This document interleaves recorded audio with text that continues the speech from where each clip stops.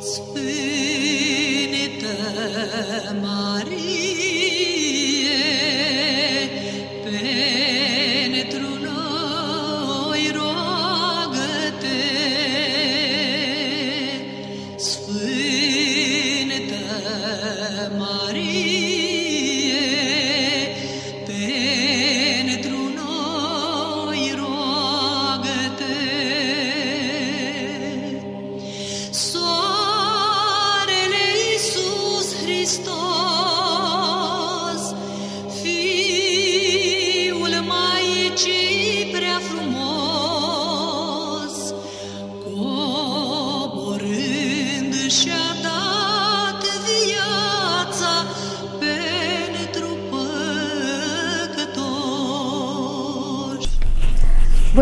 bun găsit! Sunt Raluca Găină, iar astăzi vom discuta despre un subiect cu totul și cu totul special, pentru că ne aflăm într-o zi de sărbătoare, așadar astăzi, 15 august, vom discuta despre Sfânta Maria sau Hazreti Meriem. Nici că puteam alege o zi mai potrivită decât duminică să avem această minunată conferință, așa cum am spus, Maria Meriem, o femeie aleasă. Aș dori să ne mulțumesc pe această cale Asociației pentru Dialog și Valori Universale pentru subiectul ales în această întâlnire, un subiect important de mare interes, subiect uh, despre care, din păcate, nu se prea discută în uh, media. Asociația pentru Dialog și Valori Universale este o asociație care a apărut din dorința de a da prilejul unui dialog în care diferențele dintre noi să nu mai ocupe poziții antagonice, ci din potrivă să contribuie la formarea unei noi realități mai ample. ADVU își propune să identifice acele aspecte universale care ne leagă într-o structură complexă numită umanitate. De asemenea, aș dori să le mulțumesc și invitațiilor mei din această seară, atât celor din platou, cât și celor care ne vor transmite mesaje pline de căldură și înțelepciune, invitați pe care îi vom asculta cu mare atenție, de la care avem ce învăța și pe care, sincer, abia aștept să-i ascult. În această conferință îi avem alături de noi pe doamna Maya Morgenstein, binecunoscuta noastră actriță, urmând ca subiectul să fie dezbătut de vorbitori, uh, ca domnul Daniel Cergan, diacon, profesor și doctor în teologie, domnul uh, Revan Veli, imam la moschea Carol I din Constanța, continuând cu mesajul domnului Genab Aidin, sociolog al religiei din Vatican. Începem conferința noastră cu mesajul doamnei Mai Morgenstein, pe care vă rog să o ascultăm cu atenție, așa că rămâneți alături de noi. Uh, Bună ziua, bine vă găsesc. Evident, sunt, uh, sunt emoționată să vorbesc pe o temă atât de sensibilă. Eu nu sunt un om religios, nu mă pricep în ale religiilor. O să-i las pe alții exegeți să povestească, să spună, să ne învețe ceea ce știu, ceea ce cred. Uh, Sunt actriță, mă numesc Maia Morgenstern, am aproape 60 de ani. După cum poate că observați, tocmai ce m-am întors de la mare, de la Mangalia. Am fost într-o vacanță bine meritată, a fost pace, a fost liniște, a fost uh, tumultos, dacă vreți, și din punctul ăsta de vedere, pentru că m-au copleșit amintirile. Amintirile din copilărie, dintr-o, dintr-o copilărie îndepărtată, amintirile de mai curând. Între altele, am, uh, am vizitat moschea Esmahan Sultan din Mangalia. Păi de ce? Cum? Între multe alte activități de vacanță am fost și acolo. Am vizitat, așa cum am vizitat și muzeul de arheologie din, din Calatis, din Mangalia, așa cum am amintit de foarte multe lucruri pe care le-am trăit, pe care le-am învățat, așa cum am crescut, uh, într-un spirit liber, într-un spirit universal, părinții, tata, mă duceau și la muzeu, și la bibliotecă, să vizitez geamia, uh, să înțeleg, să încerc să înțeleg prin, uh, prin povești, prin uh, analogii, cu pace, cu calm, cu mintea deschisă, cu spiritul liber. Ce înseamnă Meriem? Atât de multe lucruri. Cred că dragoste ce înseamnă dragoste, mă feresc de cuvinte mari, mă feresc de definiții. Mâna mamei, în mâna mea, toate mămicile, toate mamele, toată dragostea dintre copil și mamă, poate că asta, și asta înseamnă, alături de foarte multe lucruri. Vizitând, citind atâtea lucruri, la moschee la Jamia Esmahan Sultan, când am făcut o vizită, a fost seara, seara târziu, cu reținere să nu deranjez, poate că oamenii de acum se pregăteau orele de vizită, erau deja încheiate, nu vreau să tulbur, am fost invitată cu toată dragostea să învăț un pic de istorie, ce mai știam, că știu în fiecare an merg să vizitez, un pic de istorie, un pic de memorie, poate că cei de acolo responsabili cu uh, muzeul și situl uh, istoric și arheologic, monumentul arheologic și istoric m-au invitat, m-au povestit, între altele, lucruri interesante, lucruri importante, uh, mi-au povestit o frumoasă poveste, o frumoasă legendă, recunoscându-mă, schimbând impresii despre felul în care e cunoscută și e recunoscută Meriem, Maria, Miriam, în toate culturile, în toate confesiunile, în toate religiile, acolo, dincolo de, eu știu, dispute religioase sau exegeze sau opinii sau argumente, rămâne dragostea feminină, dragostea, atenția, grija, răbdarea, uh, puritatea, seninătatea cu care o mamă, o femeie, un om își înconjoară, își crește, duce mai departe familia sa, copiii săi, concepția sa. Îmi povesteau cum, uh, poate că n-am înțeles bine, poate că e doar o poartă deschisă spre a afla mai mult, spre a înțelege mai mult felul în care este cunoscută, celebrată, onorată, respectată figura maternă, figura feminină a Mariei, Meriem, Miriam, liniștită și uh, senină, un simbol al dragostei, al încrederii, al, uh, un simbol al legăturii nestruncinate între copil și mamă. Sigur, în toate, poate că în toate confesiunile, în toate culturile, în toate uh, religiile, dincolo dincolo de tumultul uh, ideilor, al credințelor, rămâne un lucru nezdruncinat. Dragostea, iubirea între mamă și copilul, copiii ei.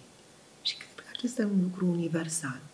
Cred că acesta se adresează uh, tuturor neamurilor, tuturor formelor, până la, la urmă, de a, de a ne exprima umanitatea.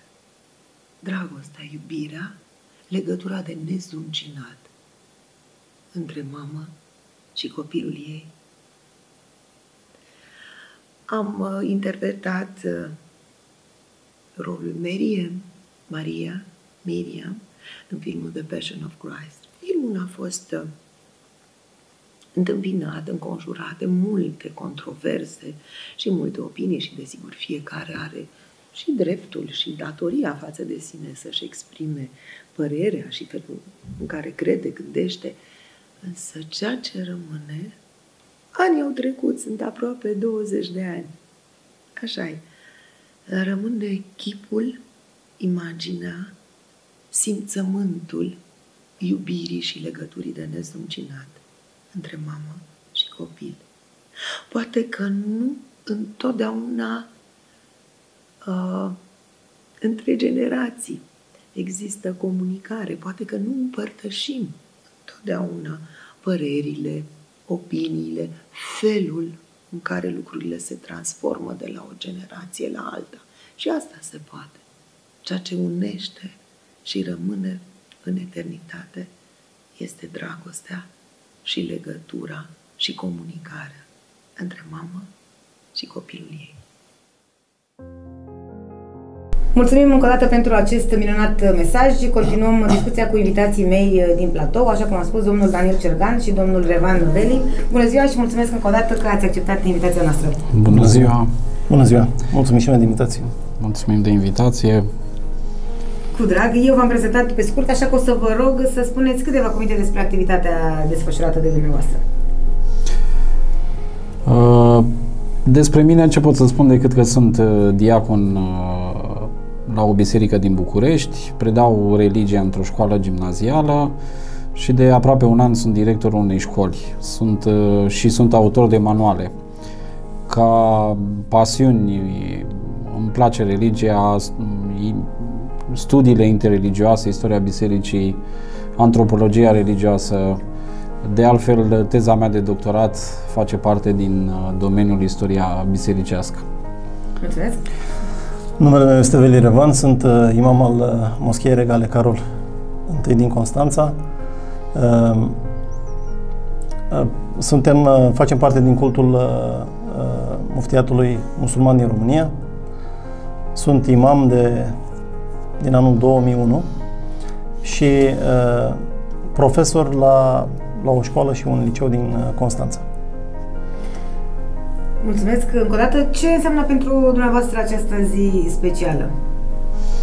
Este o zi importantă pentru creștinii ortodoxi, uh, pentru că Sfânta Fecioară Maria ocupă, în teologia ortodoxă, ocupă un uh, rol important deoarece datorită rolului contribuției în planul uh, ei de mântuire și dumnezeirea creației și a, și a umanității. În viața fiecărui credincios, Maica Domnului uh, se descoperă atât ca mijlocitoare cât și ca rugătoare. De altfel, trebuie să amintim că pentru credincioșii ortodoxi, uh, Maica Maicii Domnului îi îi se cuvine prea cinstire față de sfinți care îi, îi se cuvine cinstire sfinților Sfintei Cruci sau uh, uh, icoanelor. Deci, uh, sărbătoarea Dormirii Maicii Domnului este un moment foarte important în viața creștinilor. Este Maica Domnului, dacă vreți, este uh, atât de prea cinstită încât uh, și iubită de către creștini ortodoxi, încât uh, Biserica Ortodoxă i-a închinat mai multe sărbători, nu numai sărbătoarea adormirii Maicii Domnului. Uh, sărbătoarea adormirii Maicii Domnului încheie anul bisericesc în luna august. În cultul ortodox, anul bisericesc începe în septembrie și uh, septembrie începe cu sărbătoarea închinată Maicii Domnului pe 8 septembrie, apoi urmează o altă sărbătoare cu dată fixă pe 21 noiembrie, intrarea Maicii Domnului în biserică, 25 martie, Buna Vestire și se încheie anul bisericesc cu 15 august, adormirea Maicii Domnului. Ce reprezintă pentru musulmani? Reprezint, este, noi o considerăm mama noastră, este așa îi spunem noi, Meriem Ana, uh, este un model pentru femeile musulmane, este mama Domnului Isus, uh, cea care l-a născut, uh, născătoarea Domnului Isus, pe care musulmanii au condiția, au condiția, așa cere religia islamică, de a-i respecta și a iubi pe acești trimiși ai lui Dumnezeu, acești proroci, acești oameni desăvârșiți, uh, pot să spun modele sau uh, prototipuri ale lui Dumnezeu create pentru a-i urma. Uh, Fecioara Maria este și soția, o ia pe Fecioara Maria, ca să spun așa, ca un model. Femeile musulmane își acoperă părul și trupul asemenea ei, și uh, încearcă să o urmeze cu sfințenie, să spun. Deci este foarte importantă pentru noi, chiar uh, fetele uh, noastre, uh, dă, bărbații, deci tații au datoria de a da numele copiilor și uh, mulți uh, dau numele de Meriem sau Miriam sau Mirem. Aceste nume se regăsesc în uh, tradiția cultului musulman. Uh, deci, este foarte importantă pentru noi. Așadar, Fecioara Maria este menționată în Cartea Sfântă a Cu siguranță. Uh, Nu este numai menționată, este dedicat un capitol întreg uh, de către Dumnezeu, Bunul Dumnezeu, uh, care se numește și Meriem. Dar, bineînțeles, ea se regăsește în peste 30 și ceva de, uh, de versete, uh, noi le numim propoziții în, uh, în Coran, unde se pomenește despre Fecioara Maria și despre Domnul Isus. Revenim la dumneavoastră. Ce, ce reprezintă Fecioara Maria pentru creștini? Și uh, cine a fost Fecioara Maria, practic? Sfânta Fecioară a fost uh, din seminția lui David, a fost fica Sfinților Ioachim și Ana și logodnica dreptului Iosif. Uh, După făgăduința dumnezeiască, uh, așa cum prorăcește textele Vechiului Testament, trebuia să-L nască pe Mântuitorul Iisus Hristos, ceea ce s-a și împlinit prin uh, Sfânta Fecioară uh, Maria. Uh, Ea a trăit în curăție toată viața și uh, a fost, așa cum a spus și colegul de platou, a fost uh, mama lui Isus. A fost cea care, dacă vreți, a lucrat la planul mântuirii noastre. De ce a lucrat la planul mântuirii noastre? Pentru că atunci când îngerul Gavril i s-a arătat și i s-a, i-a spus că îl va naște pe Mântuitorul Iisus Hristos, a fost de acord să facă parte din planul mântuirii noastre. A fost de acord ca Fiul lui Dumnezeu să se întrupeze în uh, pântecele său. De aceea, uh, în uh, teologia ortodoxă, spunem noi că are meritul de a fi născut pe Dumnezeu în trup și în limba greacă există un cuvânt care denumește acest lucru, se numește Teotokos, născătoarea de Dumnezeu sau cea care i-a dat naștere lui Dumnezeu. Sfânta Fecioară este peste tot pictată în bisericile noastre, nu există nicio slujbă unde să nu fie invocată. Spunem noi că este, dacă vreți, pe scurt, născătoarea de Dumnezeu. Sunt foarte multe cântări liturgice care invocă uh, acest lucru, Teotokos, nașterea de, de Dumnezeu. De asemenea, mai spunem noi că Sfânta Fecioară uh, a fost fecioară și a păstrat fecioria și înainte și după nașterea Mântuitorului Iisus Hristos. Deci este un alt atribut al uh, Sfintei Fecioare uh, Maria. Așa cum uh, de altfel spunea și colegul din cultul musulman, și pentru creștinii ortodoxi, Sfânta Fecioara Maria reprezintă un model de urmat. De fapt, în Sfinții Părinți spun că este Eva cea nouă. Este femeia prin care păcatul strămoșesc a încercat să, să fie spălat, iar adormirea Maicii Domnului, de fapt, arată regătura dintre ea și Fiul lui Dumnezeu. Dacă la buna vestire îi se cere consimțământul de către înger, la dormirea Maicii Domnului este implicarea directă a Fiului ei, Mântuitorul Iisus Hristos, în ridicarea la cer a trupului. Deci este o garanție că ea este mijlocitoarea dintre noi și Dumnezeu. Foarte frumos ați uh, spus. Acum revenim la dumneavoastră. Ce mai putea ști despre Fecioara Maria? Deci, conform uh, Coranului și tradiției uh, islamice, uh, Ana, mama uh, Fecioarei Maria, uh, a făcut o promisiune față de Dumnezeu. Și a spus că dacă uh, voi avea un copil, voi avea un fiu, de fapt se așteptau la fiu uh, venirea lui Mesia, lui Isus, uh, îl voi dedica templului. Adică va fi uh, pur și simplu un templu și îl va uh, adora și îl va sluji pe Dumnezeu. Dar uh, lucrul acesta nu s-a întâmplat. Uh, dându-i naștere Fecioarei Maria, Ana a zis, uh, Doamne, uh, o fată, aș, sunt versetele Coranului, o fată nu este asemenea unui băiat. Dar uh, această doamnă, această femeie, această sfântă pe nume Maria, eu cred că este echivalentul a milioane de bărbați uh, neputincioși în fața, să spun așa, evlaviei, curățenii și a celorlalte lucruri uh, mărețe ale, ale dânsei. Deci Fecioara Maria este uh, dedicată templului, ea crește în templu alături de, de Zaharia, pentru că Zaharia era cea mai apropiată rudă uh, a ei, fiind o rudă apropiată, să spun, nu vreau să intru foarte mult în detalii, nu avem nici timp, și o aduce la o vârstă Uh, acolo, deci crește alături de Zaharia, bineînțeles în rugăciune și taină.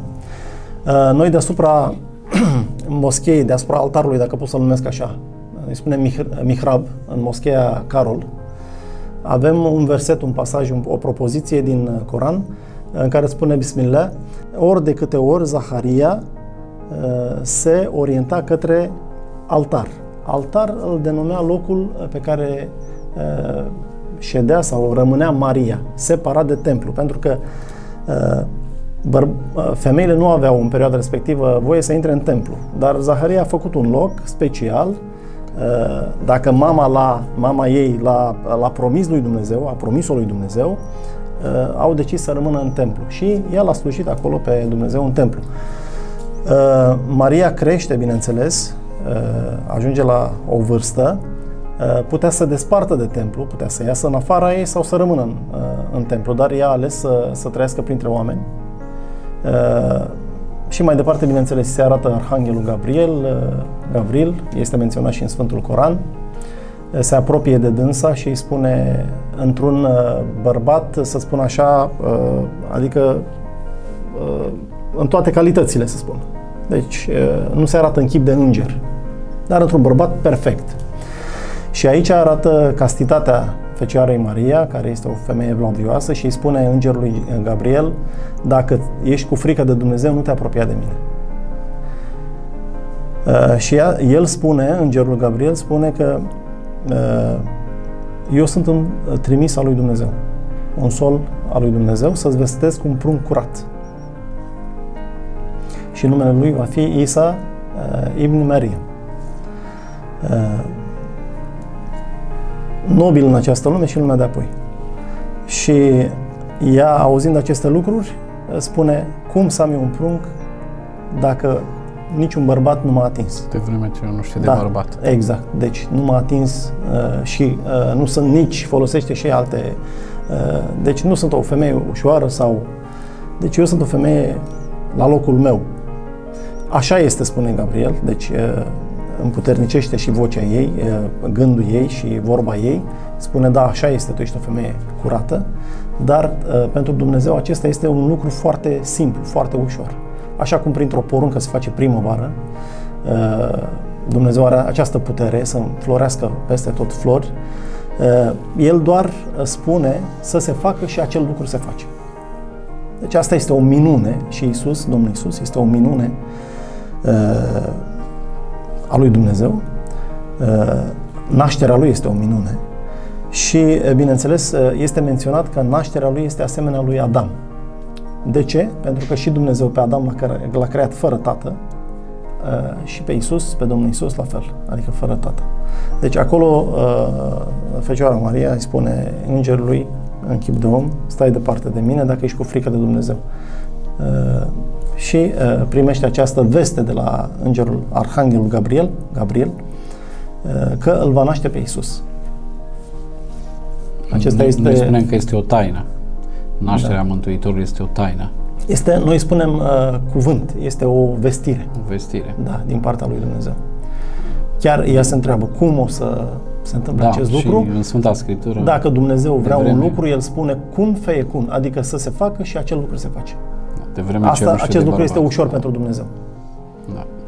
Uh, la noi trebuie să îndeplinească anumite condiții. Adică ce nu este minune. Bărbatul și femeia trebuie să vină la oaltă prin, uh, prin cununia religioasă. religioasă. Uh, unii vin, se împreunează și nu fac copii. Se întâmplă. Dumnezeu să da, să le dea răbdare, și, dar acest lucru, fără atingerea unui bărbat sau unui, unei ființe omenești, îi dă naștere Domnului Isus. Fecioara Maria. Este o vestire din Se, partea se pare că sunt uh, multe asemănări. Da, între sunt foarte multe asemănări. Sfânta sigur. Scriptură și... Sigur, sigur. A, uh, pentru că Coran. au aceeași, au aceeași sursă. Aceeași sursă, aceeași... uh, uh, Chiar dacă, uh, să spun așa, uh, lumi, lumina uh, intră pe mai multe ferestre, sursa este aceeași. Dumnezeu este sursa, noi suntem, uh, ca și confesiune, ca și religie, suntem, uh, facem parte din religiile monoteiste. Monoteiste, da. Da. Deci respectăm tot ce este trimis uh, și avem, cum să spun, obligația să credem în ce a fost trimis profetului și ce a fost trimis înaintea profetului.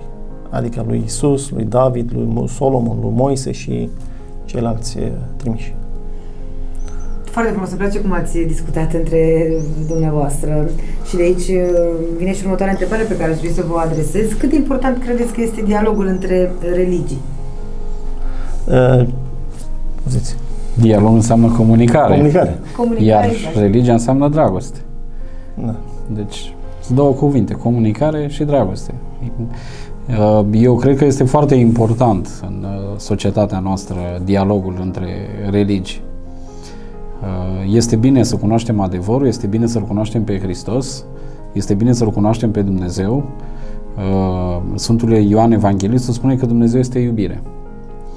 Tot în Sfânta Scriptură spune că dacă cineva urește pe fratele său și pe și spune că îl iubește pe Dumnezeu, mincinos este. Cum poți să-L iubești pe Dumnezeu și să-L urești pe cel pe care îl iubește Dumnezeu? Adică, de, de altfel, discursul sau, dacă vreți, Evanghelia um, din Evanghelia Mântuitorului Iisus Hristos este concentrat asupra dragostei.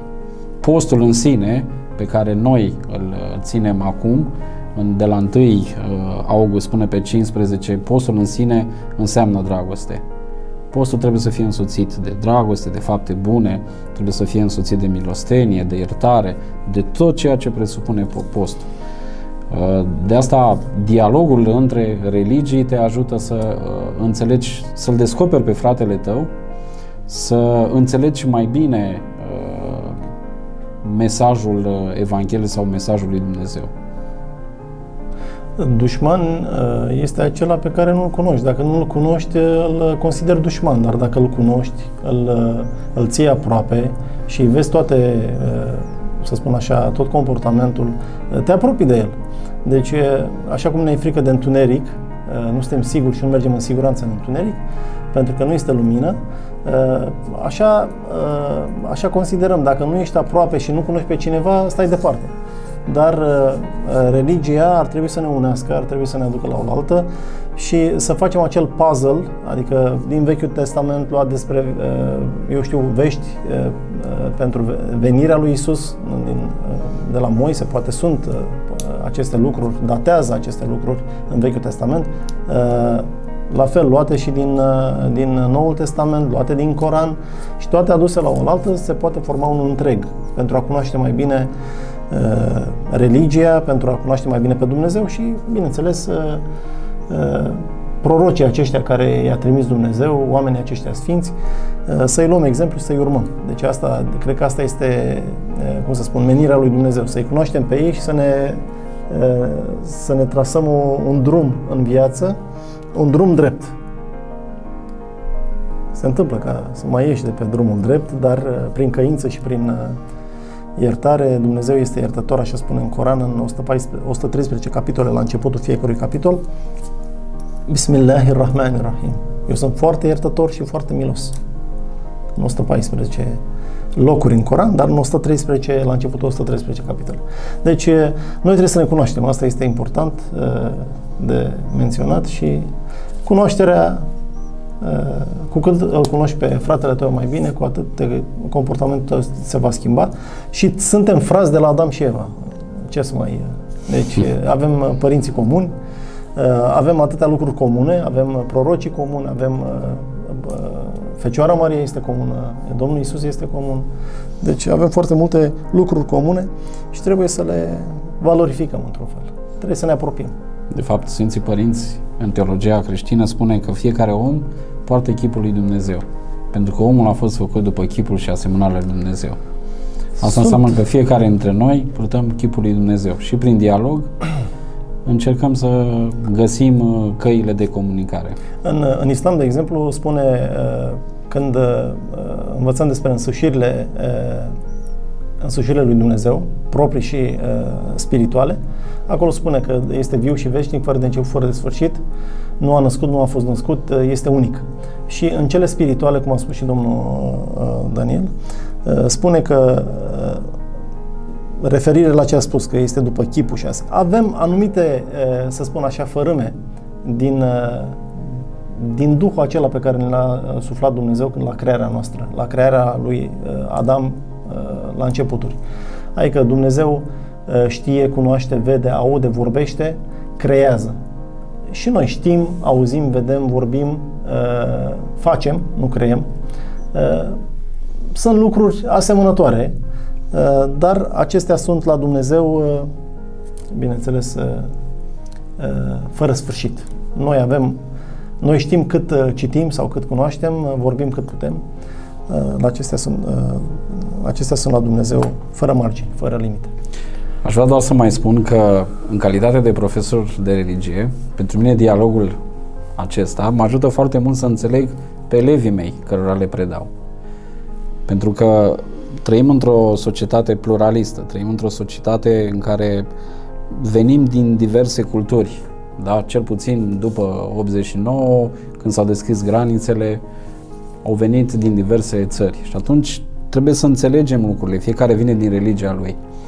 Numai printr-un dialog poți să îi înțelegi pe ceilalți. Da, este o interculturalitate, dacă vreți, o interreligiozitate. Și pe, pe mine m-a ajutat foarte mult dialogurile cu cei din cultul musulman, din cultul iudaic sau interconfesional, să pot să înțeleg pe elevii care veneau din aceste culte. Adică relația mea cu elevii.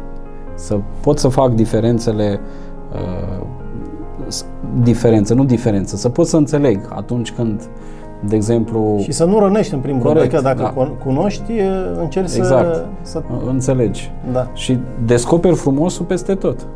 Așa este. Deci când am fost în Orientul Mijlociu, am descoperit frumosul peste tot. Părinte, să ne întoarcem totuși la Fecioara Maria. da, corect. Sigur că da, dar să vă întreb înainte, că tot ați Să legăm totul exact, despre acolo să... dumneavoastră și societate, cum vedeți, um, din punctul nostru de vedere, cum vedeți societatea religia? Sau îi acordă societatea importanța care trebuie? Eu cred că religia este un subiect important în societate, mai ales, uh, așa cum spunea uh, imamul de față, uh, în biserică, atunci când merg la botezuri, sunt foarte mulți oameni care dau numele fetelor sau băieților, uh, numele Sfintei Fecioare sau dau nume de sfinți. Uh, de multe ori observ că subiectul religiei este pe buzele uh, tuturor jurnaliștilor sau a oamenilor intelectuali. Părerea mea este că este un subiect. Biserica, religia este din ce în ce mai prezentă în societate prin tot ceea ce se petrece. Da? Sunt sărbătorile, de exemplu cum este sărbătoarea dormirii Maicii Domnului, vorbim despre pelerinaj. Da? În țara noastră, un, în, tradiție, în Biserica Ortodoxă, este un pelerinaj foarte mare, undeva în Ardeal, la Mănăstirea Nicula, în cinstea Maicii Domnului. Este un pelerinaj cunoscut la, poate la nivel uh, internațional și sunt mai multe, să spunem așa, mai mulți indicatori care ne arată că uh, religia este un uh, subiect important în uh, societatea noastră și în, între tineri, în mod special. Interesul este destul de, de, de mare, cred eu. La fel și în uh, religia uh, islamică, în religia musulmană, să spun așa, între noi musulmani, că religia este islam, uh, încercăm să, să implementăm într-un fel, cu dragoste, bineînțeles, nu cu forță uh, și prin cunoaștere, uh, această religie. Religia sau credința în, credința în Dumnezeu. Uh, când îndemnăm copiii noștri și facem rugăciuni, eu știu, în familie, spunem, hai să intrăm împreună în paradis. Și așa ne îndemnăm unii pe alții. Nu, hai, fă rugăciunea, nu știu. Deci cu uh, așa, așa uh, spune, îi spune și Domnul uh, Creatorul nostru, Dumnezeul nostru, Allah, pe care așa îi spunem noi, îi spune lui Moise, Moise, du-te în fața faraonului, dar vorbește blând, cu toate că el este împotriva noastră. Dar vorbește caul în calilă, zice, adică spune vorbe foarte blânde, foarte... Și bineînțeles, l-a întărit cu cele două minuni pe care le știm, cu toiagul și cu... Deci, Trebuie să, să-i chemăm pe oameni e, prin vorbă dulce, prin vorbă frumos. Așa cum ne învață și Dumnezeu. Cum ne învață Dumnezeu, cum ne învață, ne învață și profetul Muhammed, prorocii dinaintea lui, trimișii lui Dumnezeu. Nu prin forță, pentru că forța îl face pe om sau să-i, să-l obligi să facă anumite lucruri, îl face fățarnic și acest lucru nu este... Nu, nu, nu mai face lucrurile cu sinceritate. Și Dumnezeu cere de la noi sinceritate. Fiți sinceri în rugăciunea voastră, în uh, dania voastră, în pelerinajul vostru, că orice lucru pe care îl facem noi, dacă facem rugăciunea, că și la noi sunt mătăni, adică ne aplecăm, ne ridicăm, punem fruta la, la, la pământ, uh, devine un exercițiu dacă nu este sinceritate. Postul uh, la fel, dacă stai de dimineață de la ivirea zorilor până la pus soarele, că nu, nu bem nimic și nu mâncăm nimic, uh, este înfometare. Dacă nu este intenția de a face acest act de adorare. Pelerinajul la Meca, odată în viață, dacă nu, uh, nu-l faci cu intenția de a-L adora pe Dumnezeu, este pur și simplu o, o excursie. Deci toate trebuie să, să, să aibă baza și pornim, punctul este credința și sinceritatea. Acest lucru este foarte important și trebuie să să chemăm pe toți oamenii în uh, sinceritate. Bineînțeles, așa cum a făcut și Fecioara Maria, întâi dânsa a trăit, uh, a pus în practică, uh, a simțit în toată, în toată credința ei, în toată, a pus în practică și a chemat oamenii la, la credință. Și de asta oamenii în ziua de astăzi și în uh, anii care vor urma și până la sfârșitul veacurilor, îi vor, uh, o vor iubi și îi vor iubi pe acești proroci, acești trimiși al lui Dumnezeu. Așa cum am spus și la începutul emisiunii, eram convinsă că va fi o mm, conferință plină de învățăminte și înțelepciune. Uh, la creștini, cel puțin la români, în fiecare an se naște așa o dispută între cei care uh, spun la mulți ani pe 15 august sau și cei care spun pe 8 septembrie. Când se sărbătorește ziua onomastică Fecioarei Maria? Să elucidăm misterul acesta odată. Vedeți, și, și întrebările acest, de genul acesta arată că totuși religia este de interes, nu? este un indicator. Uh, și eu am primit uh, foarte multe întrebări, chiar și între colegii mei, uh, mai ales că, de exemplu, în ceea ce privește pe Sfânta Fecioară, avem mai multe sărbători. Și nu numai pe Sfânta Fecioară, mai avem pe Sfântul Ioan Botezătorul. Și legat de adormirea Maicii Domnului, am primit multe întrebări. Unii dintre ei nu le-am răspuns încă, aș vrea să le răspund prin uh, intermediul acestei conferințe, însă uh, i-am întrebat voi ce credeți. Uh, unii dintre ei au zis nu, adormire, pentru că adormirea e o sărbătoare tristă, atunci sărbăm ziua onomastică la naștere. Numai că în uh, Biserica Ortodoxă, dacă stăm și ne gândim bine și analizăm foarte bine, Sfinții se preznuiesc în calendarul ortodox în ziua în care i-au murit. Da? Adică în momentul în care i-au trecut la Dumnezeu, pentru că moartea, pentru noi creștinii, este nașterea în împărăția cerurilor. De aceea, uh, noi uh, considerăm că pentru cei care nu cred în înviere, într-adevăr, sărbătorile nu pot să fie uh, sărbătorile în care sfinții au trecut la cele veșnice sunt triste. Dar pentru noi care credem în înviere, pentru creștinii care cred în înviere, uh, care cred în viața veșnică, în uh, unirea sufletului cu uh, mergerea în rai, pentru noi o ziua onomastică atunci se face, când Sfinții au trecut. Reveni la Maica Domnului, vreau să le răspund că ziua onomastică este pe 15 august.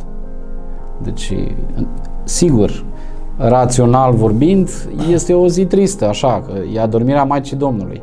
Da?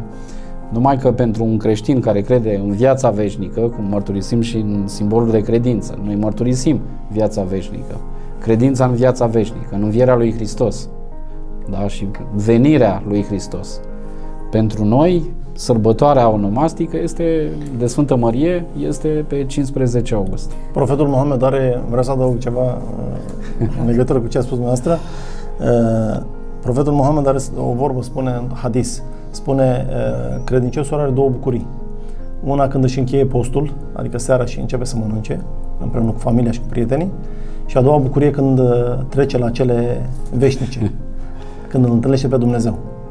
Deci credinciosul are două Întâlnirea bucurii, cu zice. Dumnezeu. Deci da, asta este o mare bucurie Da. pentru un credincios. Ce poate, ce poate fi mai bucuros decât să-l, să-l vezi pe, să întâlnești pe Creatorul tău? Frumos, mulțumim. Așadar, astăzi este un prilej bun ca De, cei care ne da, urmăresc cei care să spună- sărbătoresc, care poartă numele Sfintei Fecioare Maria, Marian, Maria, Mary, Miriam, da, îți sărbătoresc ziua nomastică, așa cum cei care poartă numele Sfântului Nicolae, da, pe 6 decembrie sau pe 30 noiembrie de Sfântul Andrei, da, își, serbesc, își serbează ziua nomastică. Este ziua în care au trecut la cele veșnice. Deci astăzi uh, este ziua onomastică și putem spune la mulți ani celor care poartă numele Spunem la mulți ani și poate și o rugăciune, O rugăciune, uh, pentru, sigur. pentru Fecioara Maria.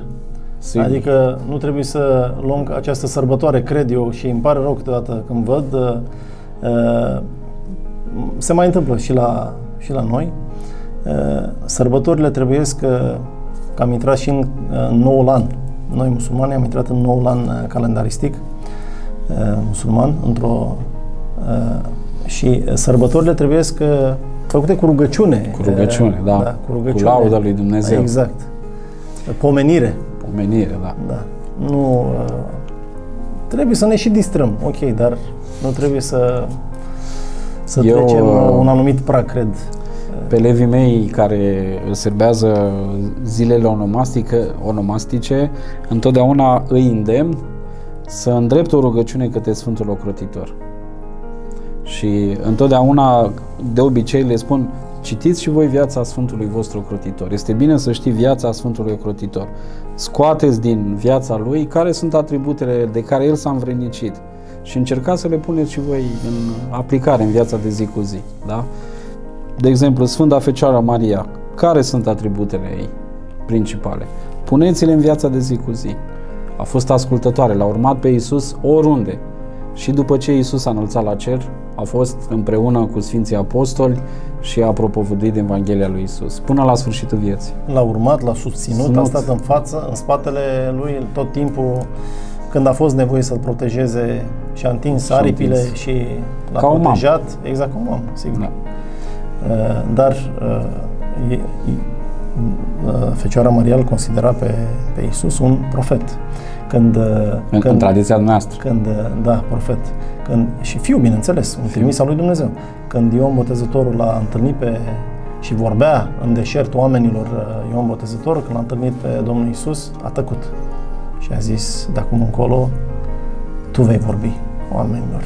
Și uh, după cum știm, uh, propovăduiește această religie uh, oamenilor și îi cheamă la, la, drumul, uh, la, la drumul ce drept. În, uh, vreau să continui, dacă îmi dați voie cu... Sau, Vă rog, sigur, da? sigur. Uh, Pe lângă, fa- am zis că uh, Fecioara Maria a fost uh, o mare susținătoare a lui, al Domnului Isus. Sus. Dar uh, și, și Domnul Isus uh, a întărit-o pe Fecioara Maria la naștere. Uh, În tradiția noastră islamică, Isus este uh, poate primul sau singurul copil, copil care a vorbit, vorbit în fașă, chiar se spune în Coran, a vorbit în fașă pe când era un prunc. Deci, nou născut, a vorbit uh, oamenilor. De ce a făcut acest lucru? În primul și în primul rând să o liniștească uh, pe mama lui. Deci asta, acestea sunt minuni. Noi le numim minuni. Uh, în tradiția ebraică, uh, femeia trebuie să se căsătorească să aibă un copil. Ea când a venit cu pruncul, conform tradiției uh, islamice vorbesc, Coranului, când a venit cu uh, copilul în fața mulțimii, uh, Dumnezeu înainte a zis, dacă te întâlnești cu oamenii, să le spui că postești. Postești, adică nu, nu vorbești cu oamenii. Postul era și abstinența de la mâncare, dar și postul graiului. Nu vorbeau așa cum s-a întâmplat și cu Zaharia în templu, când a cerut Domnului vlăstare alese și Dumnezeu i-a spus că vei, cu toate că vei fi perfect, adică nu ai avea un defect, nu o să poți să vorbești cu oamenii uh, un timp. Adică Până la o perioadă, o, o perioadă. Nu știu, uh, nu este menționat în, la, în Coran, da. în Sfânta Scriptură este. Și Isus uh, îi spune mamei, uh, nu fi mâhnită, nu fi supărată, nu fi tristă. Deci, în timpul nașterii.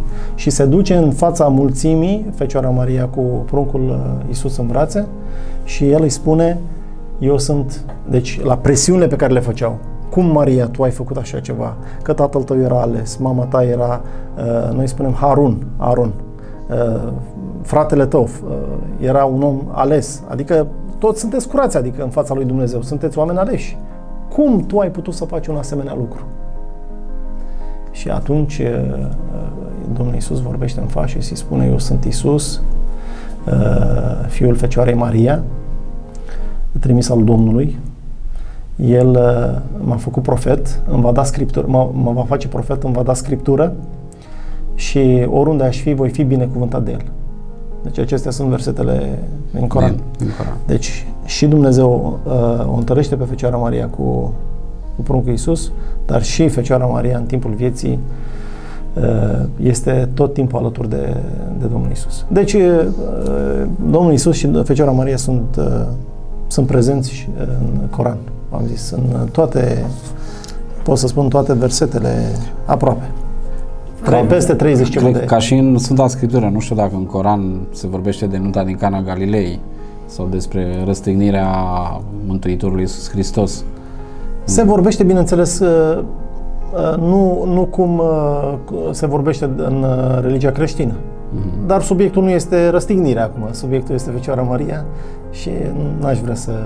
Aș dori să continuăm discuție imediat după mesajul domnului Genab Paidin, sociolog al religiei din Vatican. Hi, very warm greetings from Rome, the eternal city. I'm Mustafa Genab Paidin, a sociologist of religion and the director of a Center for Interreligious Dialogue, Tevere Institute in Rome.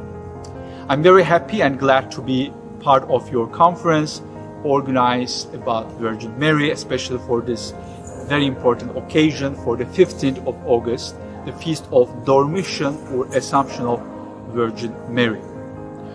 And I am now in a very important place of Rome. As you know, in this city, there are dozens of churches dedicated to her named after Virgin Mary. But now I'm just, uh, you know, talking to you from a spot uh, in which the two churches dedicated to Mary, Mary actually meeting here. One is Santa Maria dell'Anima, another is Santa Maria della Pace. The second one is, as you could just, you know, recall, it means the Holy Mary of Peace.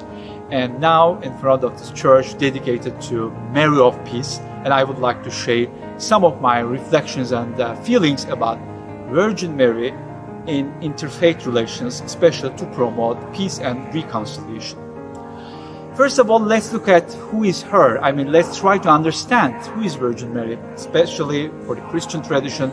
She's a very central figure, and she is known as Mother of Jesus Christ. And according to the Council of Ephesus of 431, she is the Mother of God Theotokos. But also, she's a very important religious figure, again, in Islam. In the Islamic tradition, especially in the Holy Scripture Quran, we see her as the only woman mentioned with her name. We see very interesting details about Virgin Mary in the third chapter of Quran, Al Imran, and the 19th chapter of Quran, Surah Al-Maryam.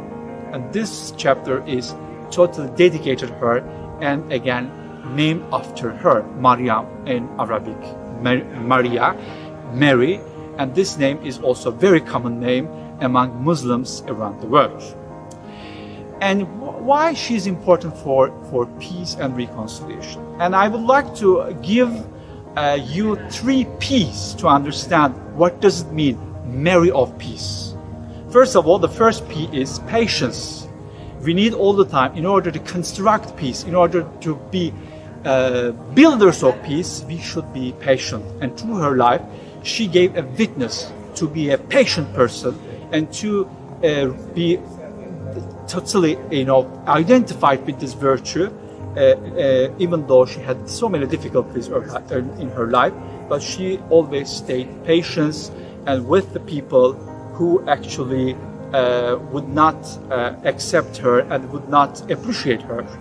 And whenever he, she got some difficulty, she was excluded, she was not appreciated, she showed just patience. Second P is uh, prayer. From very beginning of her life, since uh, her parents dedicated her to the temple, as we know in the Quran and the, and the Holy Gospel, her dedication to um, temple, some, it was something known from her childhood. That's why she was always very much dedicated herself to a life, prayerful life, a life full of prayer. And this is a, this second P is a method that Virgin Mary not only left us, but actually we can learn a lot from her because in order to construct a sustainable peace, starting with people of faith, we should really concentrate on prayer. And this is actually very well known, especially between Muslims and Christians, but also involving people from different religious traditions. Whenever there is a conflict situation or where there's something to be resolved uh, the, between people who need to construct and promote peace, prayer, interfaith prayer, comes into the scene and it becomes very relevant. And third P, in terms of you know uh, the, how to identify Mary of Peace uh, to an ideal of uh, promotion of peace, is her passion. We see Mary, the, the, the mother of Jesus Christ, the mother of peace, the mother of dialogue, has been always a passionate woman, passionate about everything she was doing, passionate, first of all, about her son, passionate uh, about her life, passionate about her prayer, and passionate about the people around her, always dedicated to, to them. And coming to the end, I would like to give you uh, some concrete examples. What does it really mean today, remembering Virgin Mary and promote, promote peace around the world? And first of all, as you know, during the year, there are several dates that we remember her. Now we are remembering her with 15 August with the Dormition or Assumption of Virgin Mary. But also during the year, there's another important date that we remember her. This is the 25th of March.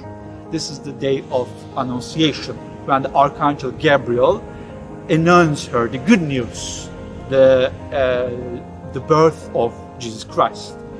And this moment is an important moment because it, this moment, this date became now a concrete date of peace of reconciliation for Lebanon. Few years ago only, this day became a national feast for the Lebanese society, which is made up of Muslims and Christians, almost half-half. And this country opted for uh, opted for uh, a national feast day, this day of Annunciation, remembering Virgin Mary as a person who uh, unifies this unfortunately very divided society. But this Lebanese example is not an example not only for uh, Lebanon or for the Middle East, but is an example uh, which could become an international and universal message. And also there are several religious movements or movements inspired by Islam and Christianity around the world.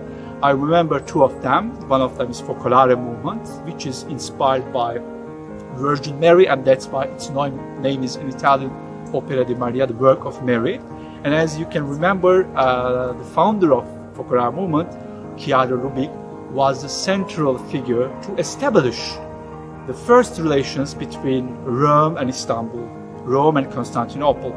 She visited the seat of the ecumenical patriarch of Constantinople, uh, Holy, um, His Holiness Athenagoras, and that's actually the first meeting paved the, uh, the relations between the two churches, two churches representing two brothers, two apostles of Jesus Christ, Saint Peter and Saint Andrew, which are also celebrated in Quran as Havariyun, the apostles, these disciples of Jesus Christ. And uh, since this movement is so much inspired by the Marian understanding and their um, dedication to interfaith dialogue it is uh, very um, related to the heritage of Virgin Mary. Another movement from the Muslim world, a Hizmet movement, which is also so much inspired by interreligious and intercultural uh, understanding of Quran. And in this context, uh, we see Virgin Mary as a central figure. Uh, a Muslim, uh, well-known Muslim theologian also, which is a prominent figure of the Hizmet movement, theologian uh, Mr. Abdullah Aymaz, uh, several times uh, underlined the importance of Virgin Mary to promote interfaith dialogue, not only between Muslim Christians, but also involving Jews, but also other religions, because Mary gives us a, an universal uh, message of uh, uh, the builder of peace, even in a very difficult context around the world. I would like to again greet you from this spot where I'm located in the in front of the Church of Santa Maria della Pace, Mary of Peace. Very warm greetings from Rome. Thank you. Am revenit, suntem pe final de conferință, din păcate. Uh, Aș dori să transmitem fiecare câte un mesaj pentru cei care ne ascultă, dar nu înainte să vă rog pe dumneavoastră să ne spuneți câte ceva despre uh, ce semnificație au icoanele. Noi avem câteva imagini care rulează pe ecran din diferite mănăstiri, biserici cu Fecioara Maria. Uh, într-adevăr, uh, Sfânta Fecioară apare în, uh, foarte des în uh, iconografia uh, bisericii noastre, uh, în mod special în altar. Uh, Aș putea spune că este singura femeie care se află în altar. Da. în, în altar unde slujesc uh, preoții. Uh, Este pictată și pe catapeteasmă, Uh, Conform tradiției ortodoxe, uh, Sfintei Tradiții, icoana Maicii Domnului, ca și cea a Mântuitorului Hristos, are o origine apostolică. Uh, Ea, ele fiind pictate de Sfântul Apostol și Evanghelist Luca. În uh, cultul ortodox am văzut că în afiș s-a folosit o icoană mai mult spre cultul uh, catolic. În cultul ortodox, uh, icoanele sunt un pic uh, diferite, dacă vreți. Uh, Chipul Fecioarei Maria este un pic mai, uh, să spunem așa, mai, mai smerit, mai arată mai asceză. Dar părul nu îi se vede, uh, părul este acoperit.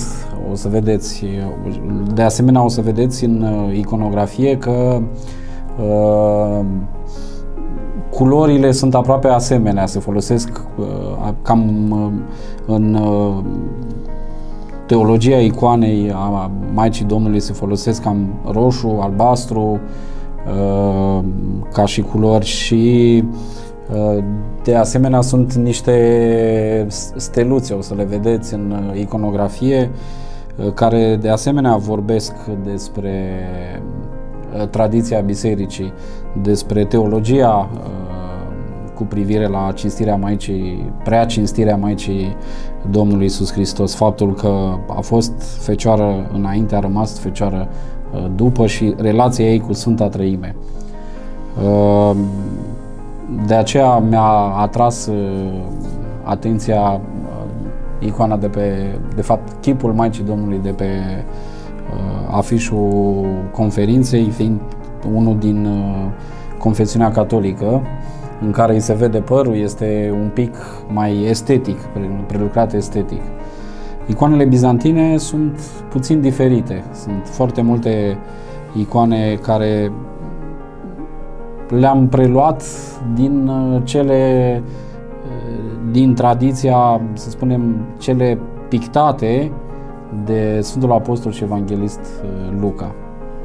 Deci, în concluzie, Sfânta Fecioară ocupă un loc important în biserică, fiind singura femeie care este pictată în altar. Un mesaj de... Femei, femeile, când vedem o femeie musulmană, eu cel puțin mi-aduc aminte de Fecioara Maria. și de mamele, ma, mamele musulmanilor, pe care noi le numim mamele musulmanilor, soțiile profetului Muhammad. Și Fecioara Maria este tot considerată mamă pentru noi. Deci, oricând vedem o, o femeie, să spun așa, asemenea Fecioarei Maria, ne aducem aminte de, de ea. Un, un mesaj către, către oameni, să încercăm să urmăm aceste persoane demne de urmat, nu altele, care sunt o droaie, să spun așa. Să luăm, să luăm ca exemplu ce ne-a pus Dumnezeu în față. Și un mesaj, suntem în, în noul an, vreau să le spun tuturor musulmanilor să-i felicit, să le urez un, un an nou, plin de bucurii, împliniri și să ne ajute Dumnezeu pe toți. Și eu urez tuturor celor care poartă numele Sfintei Fecioare la mulți ani. La mulți ani. Și eu aș dori în încheiere să urez tuturor uh, celor care poartă numele uh, Sfintei Fecioare la mulți ani. Mulțumesc că ați stat alături uh, de noi și dumneavoastră vă mulțumesc Mulțumim că ați Mulțumim. venit la această conferință și celor care ne-au trimis mesaje înregistrate. Aș dori să, cum au spus și domnii invitați, să fim mai buni și să încercăm să urmăm tot ce citim în Biblie sau în Coran, sau măcar să încercăm. Mulțumesc încă o dată, sunt Raluca Găină, ne revedem data viitoare, la revedere!